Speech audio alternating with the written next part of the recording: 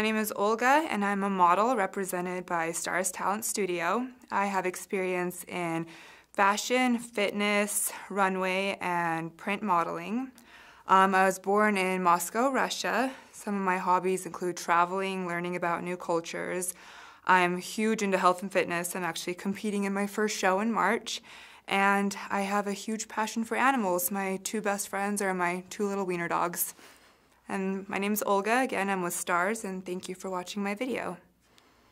I decided long ago that I am not going to eat my way through every fast food restaurant and pizza joint. I eat healthy. After all, it does catch up with you.